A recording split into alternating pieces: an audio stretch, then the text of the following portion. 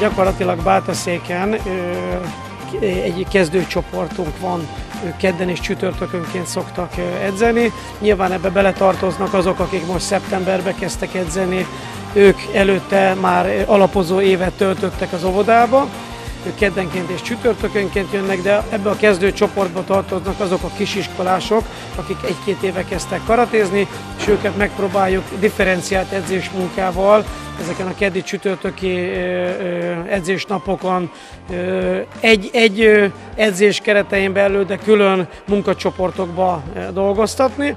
Vannak a középhaladók, akik hétfő, szerdán és péntekenként szoktak járni edzésre. Ők részben tradicionális karatéval foglalkoznak, részben versenykaratéval, vagy sportkaratéval, és akkor van a top versenyzői csoportunk, gyakorlatilag ő, ő nekik majdnem minden nap van edzésük, és mondhatom úgy, hogy majdnem minden két hetente van egy kisebb vagy egy nagyobb versenyük. A top versenyzői csoporttal most két fókuszra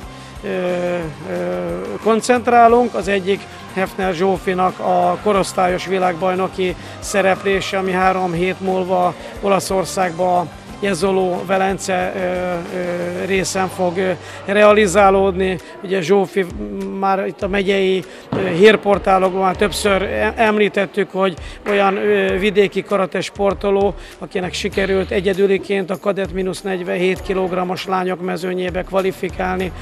Tehát ez egy nagyon nagy szó, mert ebbe a, ebbe a kor és súlycsoportban még vidéki versenyző soha nem szerepelt. Általában a fővárosi nagy egyesületekből jönnek ki azok a versenyzők, akik ebbe a, ebbe a korosztályba tudnak érvényesülni. Úgyhogy Zsófira koncentrálunk itt október elején, október végén pedig a ciprusi Vadokály Európa bajnokságra, ahova most per pillanat 9 sportolónk kvalifikált, ebbe benne van U12-es sportolónk is, illetve van veterán sportolónk, tehát nagy a szórás. Azért is van az, hogy a top versenyzői csoportban viszonylag nagy, a, nagy a, a, az életkori különbség, de egyébként tudásbeli különbség nincs, mert ugyanazt tudja egyébként egy, egy 12 éves nagyjából, mint amit egy fel nőtt, csak nyilván más energiával, más, más technikai színvonalon. Tehát az a különbség Zsófi versenye és a Vadokály EB között, hogy gyakorlatilag van a World Karate Federation, a World Karate Federation minden évben, bocsánat, minden két évenként rendez egy világbajnokság, korosztályos világbajnokságot, és minden évben rendez egy Európa bajnokságot. Itt egy sokkal keményebb kvalifikáció van, mert minden korosztályban, minden súlycsoportban egy, egyetlen egy magyar képviseltetheti magát. Ezt a kvalifikációt az idén Zsófi nyerte, ugye megnyerte az, az Ausztria Junior Open-t, illetve bocsánat, döntőbe került a, az Ausztria Junior Open-en, megnyerte a Sofia Open-t, és Pozsonyban a Szlovák Open-en is döntőbe került. Ezzel kvalifikálta magát erre a világbajnokságra. Az Európa-bajnokság annyiba különbözik, a Vadokály Európa-bajnokság annyiba különbözik, ugye, hogy a nagy karate életben van ö, négy tradicionális karate stílus, a Sotokán, a Vadorjú, a Sitorjú és a Godzsurjú. Ezek közül minden stílus megrendezi a saját maga Európa-bajnokságát évente. Ők nem ö, külön rendezik a korosztályost és a felnőttet, hanem egybe rendezik, és ide ö, korosztályonként és súlycsoportonként három sportoló kvalifikálat, így most kilenc bátaszéki fog utazni Ciprusra. Bármennyire is az van a fókuszban, hogy Zsófinak fel kell készülni a VB-re és a többieknek Ciprusra, de most hétvégén lesz a Budapest Open, és ez már a következő kvalifikációnak, tehát hiába egy felhozó verseny a, a mostani megmérettetésre, egyébként annyira felhozó verseny, hogy tudomásom szerint 1800-2000 versenyző nevezett a, a Budapest Operre, tehát gyakorlatilag ha jól tudom, július végén lesz, lezárták a nevezési, a nevezési felületet, mert annyi ö, olyan szintű túljelentkezés volt rá, tehát a Budapest Open például egyben nekünk felkészülő verseny a VB-re és a Ciprusi EB-re, de már kvalifikáció a következő versenyekre. Tehát gyakorlatilag ez egy mókus kerék, folyamatosan felkészülünk, kvalifikálunk, felkészülünk, kvalifikálunk, és ebben nyilván vannak olyan pici, kisebb országos bajnokságok, kisebb hazai versenyek, vagy kisebb, általában Horvátországba megyünk versenyre, olyan kisebb versenyek,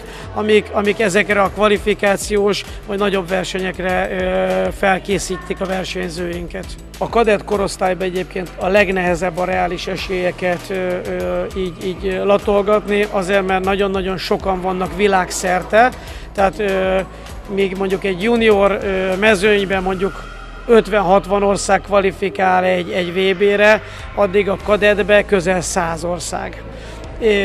És ez 100 tehát ahogy egyébként egy, a 14-15 éves korosztály a kadett, a 14-15 éves korosztályban, hogy látjuk azt, hogy milyen különbség van fizikailag, érettségi szintben egy normál gyerek között, ugyanez érezhető a karatéba is, tehát nem tudhatjuk, hogy milyen érettségű, milyen fizikumú versenyzőkkel sorsolnak bennünket össze. Tehát nagyon-nagyon sok fog attól függni, hogy milyen a sorsolás, milyen a pillanatnyi állapot, milyen lesz a bíráskodás, mennyire támogatják mondjuk a támadó karatét, vagy akár a védekező karatét, akkor az adott pillanatban, vagy azon az adott küzdőtéren. Tehát azért a karatéban van egy szubjektív vonulat, amit kadettkorban a legnehezebb egyébként kezelni és kiszámítani, úgyhogy mi mi tesszük a dolgunkat, már az is egyébként egy nagyon nagy szó, hogy Zsófi kikerült erre a, erre a világbajnokságra, és megpróbáljuk a legjobbat kihozni ebből. Ha ez egy érem lesz, akkor nagyon-nagyon boldogok leszünk, és egyébként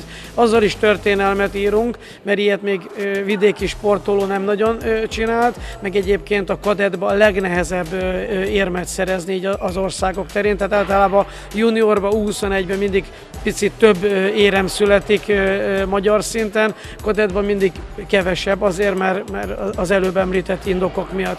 Úgyhogy hát ennyit tudnék erről mondani az esélyekről, de egy nagyon ügyes, egy nagyon jó versenyző lányról beszélünk, aki egy nagyon offenzív, nagyon fiús karatét csinál, és ezt általában szeretik a bírók. Hefner Zsófit is megkérdeztük, hogy ő maga hogy tekint az előtte álló világbajnokságra, és hogy érzi magát a nagy megmérettetés előtt. Szerintem nagyon jól sikeredett a felkészülés, voltak egy-két nehézségek, amiken próbáltunk dolgozni, és a csapattal is próbáltunk már összhangba jönni.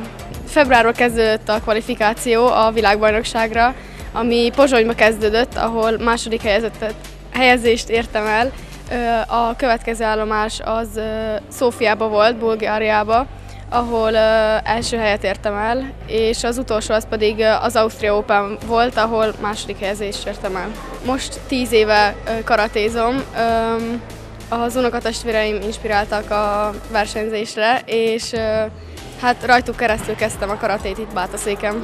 Váncsa Zsombor már rutinos versenyző. Nagyon várja a közelgő kontinens tornát. Az előzőről szerzett élményeit mesélte el nekünk. Nagyon jó élményekkel töltött fel, és Katából egy második helyet sikerült szereznem. Kümit az annyira nem sikerült jól, szeretnék rajta most javítani. Kovács Zoltán, ahogy a teremben többször is elhangzott, veteránnak számít. A 90-es évek óta karatézik. Ebből adódóan már sok mindent megtapasztalt. Nyomon követte a sporták formálódását és a gyerekek változó érteklődését. Ez idén megnyertem a VK Magyar Bajnokságot veterán kategóriába, meg a háromfordulós vadó Magyar Bajnokságot is megnyertem, úgyhogy két, idáig kétszeres magyar bajnok vagyok. Tavaly is én nyertem, úgyhogy tartom a a magyar bajnokságot, hát nem tudom, majd meglátjuk, most megyek Ciprusra az EB-re 24-én, tavaly második lettem, egyénibe, veteránba, plusz 35 éves korosztályba. Hát az idén nem tudom, készülök, majd meglátjuk. Sokan vannak, úgyhogy két esélyes. A sorsolás függő is sajnos, de majd meglátjuk. Hogyha kikapom a legjobbat, és ő bejut a döntőbe, akkor maximum a harmadik lehetek de ezt szeretném elkerülni, úgyhogy lesz, ami lesz. 2020, nem tudom mikor volt, most volt az olimpia, előtte valójában ugye olimpiai sportág lett, most teljesen más lett a megítélése, hát még nagyon sokat változott a maga a versenykara, tehát teljesen más, régen ilyen állóharc volt, most, most teljesen más az egész, mozognak, nem azon, hogy régen egymásra szembe álltak és válták, ugye, hogy ki jut előbb, aztán lekontráztak, régen ilyen kontra volt, de most most, most nagyon támadó jellegű lett. Úgyhogy hát a megítélése nem tudom, megmondom őszintén, nem tudom, én régóta benne vagyok, hát a gyerekek jönnek, mennek, mi maradunk, nem tudom, hát kevés a, a, az a, ugye a TAO sportágak azért elviszik a gyerekeket, foci, kosárlabda. Ha egy bizonyos korosztály, a, mondjuk ha az obiba elkezdi, akkor megmarad, tudom én, egy négy-öt versenyző, és hát ők, ők benne maradnak sokáig, de ugye az érettségi után továbbtanulás, sokan, nagyon sokan elmennek. A top, verseny, top versenyzőink közül is nagyon sokan sajnos, hát nem sajnos, mert tovább tanultak, ez az életrendje, de elmennek. És akkor egy idő után visszajönnek. Az, az annak örülünk, mert sokan visszajönnek az öregek közül.